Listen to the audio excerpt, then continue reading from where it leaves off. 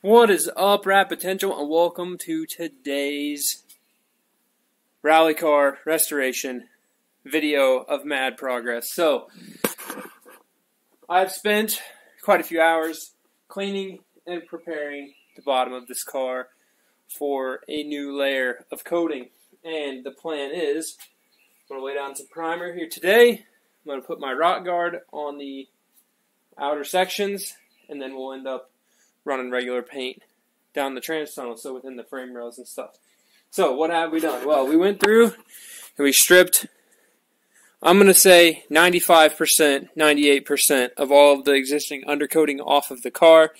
There's areas like in the pinch welds and stuff that are really hard to get to, but that undercoat doesn't just come off, so um, it's kind of a real pain to get it off. So I don't think or foresee it giving a giving us a major issue like paint starting to come off, and it's mainly in the areas where the undercoats or the rock guard's going to be going down, so it's not going to be a big a big deal. But we got pretty much all of it off, stripped all the fender wells out, got all this all off, every single basically nut and bolts off the bottom of the car, and uh, it has been hand sanded, wiped down once, wiped down twice.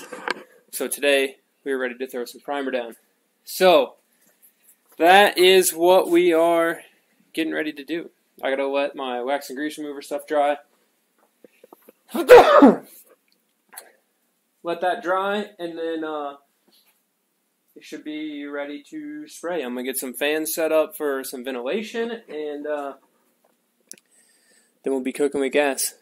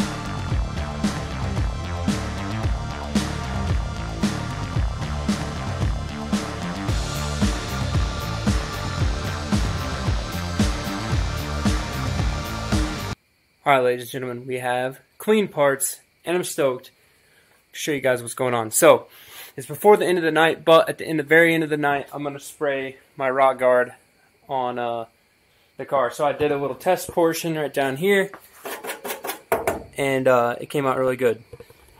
Thing I've learned, um, when you're using like spray can rock guard, spray can bed liner, and you're painting over something, Always do a small test session first, test spot first, let it dry, make sure that your can, like you got it good and well and shooken up and stuff, because I didn't want to douse the whole thing in this material I've never sprayed before and have it literally pull the paint. So I've had clear coat in a can like mess up the paint underneath. So be aware of that. But this is the bottom of the car. It's like, you know, the cleanest that it's ever going to be, ever you know, until I start putting bolts and stuff on it. Little mosquitoes start landing on it. Um, we cleaned the axle. I cleaned the front suspension stuff. And all those parts there will get torn down, inspected, cleaned, again, painted, and put back together. Such that they can go on the car looking fresh. The other thing is we're going to get an energy suspension polyurethane bushing kit. And I'm going to replace all the bushings um, in the rear suspension and front suspension with that. Now, some of y'all probably read or noticed or seen or whatever that these cars have a tendency to have like rear suspension issues um, when you run all polyurethane bushings. So what I'm going to do is show you guys some ways to combat that. Um, and these are ways that most, I don't think I've seen too many of them on the forums and stuff yet. But I've chatted up a few, or one in particular, um, of my old rally connections. And he has lended some of the old Group B advice and Group C advice to basically how they came about fixing some of this rear geometry issues within the rules of Group C, which you can't modify the um, like suspension mounting locations, or you couldn't go to like a panhard bar and stuff. Whereas like Group B was do whatever you want. So, um, but anyways, look for that stuff in the next video. We're gonna finish this video out with me spraying a clear substance on the bottom of this car, and uh, yeah, I got some work to do cleaning these engine parts. I'm not gonna show you guys that. You've seen me clean engine parts before. I could put a time lapse in if you really want me to. Comment below if you want me to time lapse the engines I do, but it's another rotary engine getting cleaned. So I'm going to clean that and do that. And I will uh, catch you guys in the next video. Thanks for watching.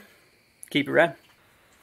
All right, we're going to call this the after Keep It Rad bonus feature of a couple minutes. So all of the uh, rocker guard is done, and it looks super good. Apologize for my dog barking, but the rocker guard is just from the frame rails out generally speaking, you're going to see a lot more dirt and rocks and stuff coming up through here to tear all this up then you would see action down here. So that's why that rocker guard's there. Basically, it's like a nice, thick, clear, um, textured clear to go over your paint. So you do it on your rockers where it's painted already. The other thing, just wanted to update you on the rotor motor assembly this week. So rotors are cleaned and assembled. I did that last night. The apex seals are all cleaned, ready to rip. Um, all the assembly requirements here, ready to go. Oil pan bolts cleaned.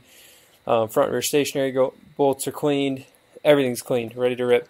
The irons, all fresh, cleaned up, ready to rip. All the coolant glues, coolant glues, grooves are all cleaned, prepped, ready for new coolant seals. Got a fresh coat of black on here because red, not that cool.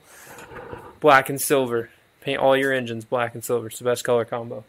Um, tension bolts are cleaned, ready for new washers. So that's the the one minute update at the end of the video.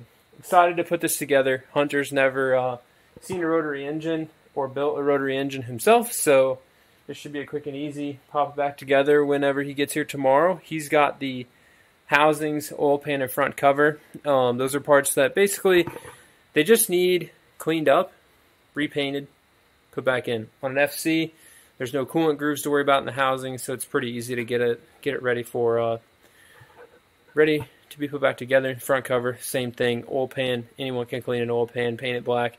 So I sent that stuff with him. Takes a good load off of me. You know, a couple hours worth of work getting that stuff cleaned. So with that, we're going to be assembling this engine whenever you guys are watching this video. So look for the assembly video coming up next, and uh, I will See you guys later. Peace. Keep it rad. The second time.